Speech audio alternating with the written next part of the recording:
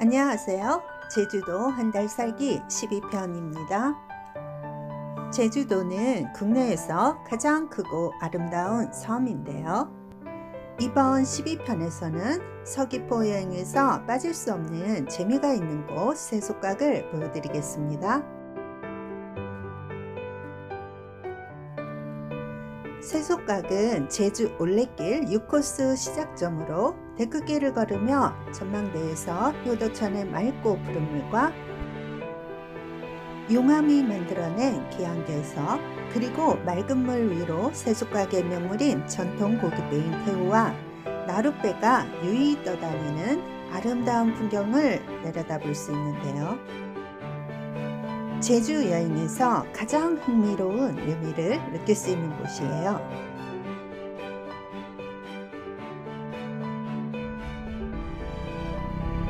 제주 서귀포시 하효동에 있는 세속각으로 향하는데 한라산 물줄기가 내려오는 효돈천 계곡에 거대한 바위들이 눈에 들어옵니다.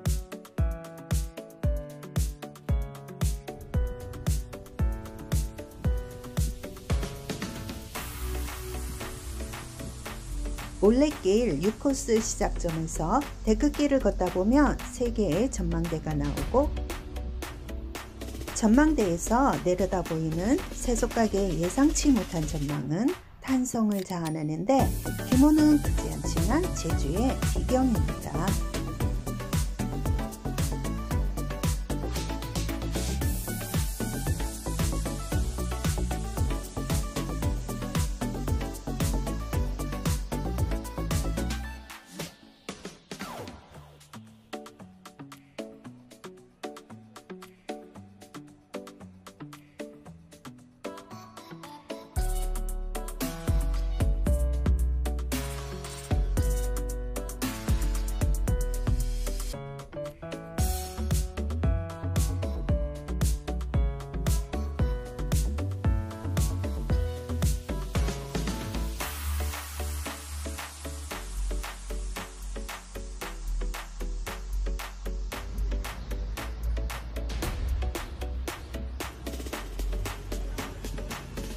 쇠는 소, 소는 웅덩이, 깍은 끝이라는 뜻이며 효도천 담수와 바다의 해수가 만나 깊은 웅덩이를 만들어 세속각이라 불리우는데 효돈천이 끝나는 곳에 있으면서 바다와 맞닿은 곳에 위치한 점이 특이해요.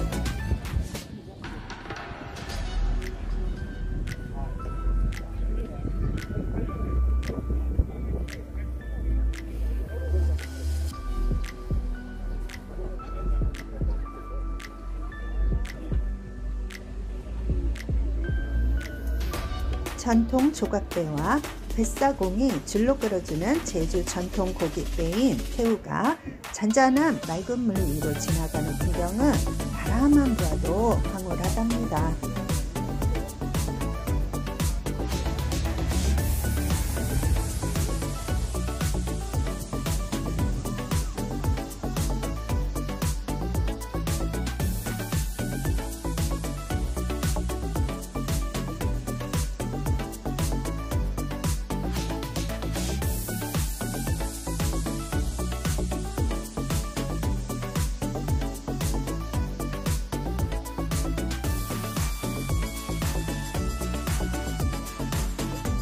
구경하다가 새우를 타기로 하고 길 건너편 매표소로 가니 표가 8,000원이네요. 보통 인터넷으로 예매하는데 표를 현장에서 사면 한두 시간 정도 기다려야 할 수도 있어요. 승선장으로 내려가면 하요 해변이 나오는데 검은 해변이 특이하네요. 한라산 현무암 부스러기가 소돈천을 따라 떠내려와 쌓여 만들어진 검은 해변이네요.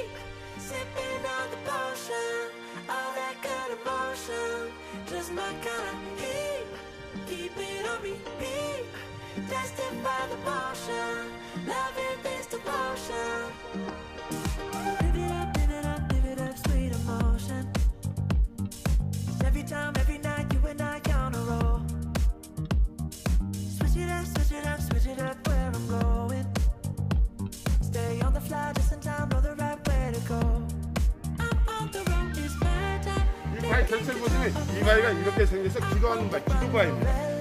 I got to run this show. You always take me so high. You always make the high. 테우는 제주 전통 고깃배로 나무로 만든 뗏목인데 지금은 노를 잡지 않고 줄을 잡아당겨 나아가네요. 저희들은 쇠소깍이 어릴 때부터 놀면서 장어를 너무 많이 먹었어요. 저도 어릴 때 아버님 손잡고 여기서 낚시했는데 아버님 딱 올리니까 저 뱀인 줄 알고 도망가 버렸거든요. 그게 장어였어요. 효돈천 상류엔 계양계석 위로 소나무가 어우러져 풍경이 더욱 멋진데 사극 드라마 추노의 촬영지였네요.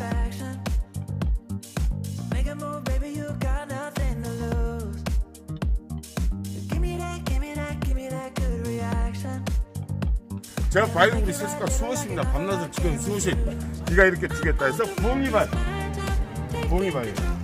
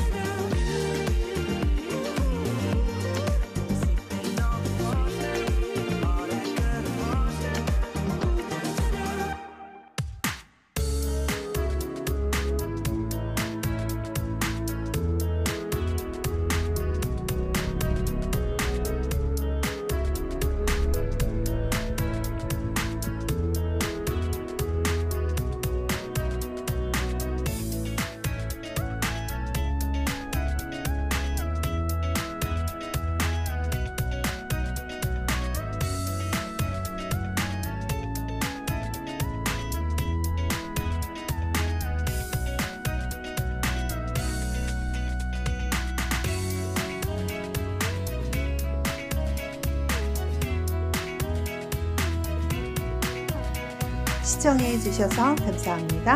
구독과 좋아요 그리고 댓글 부탁합니다.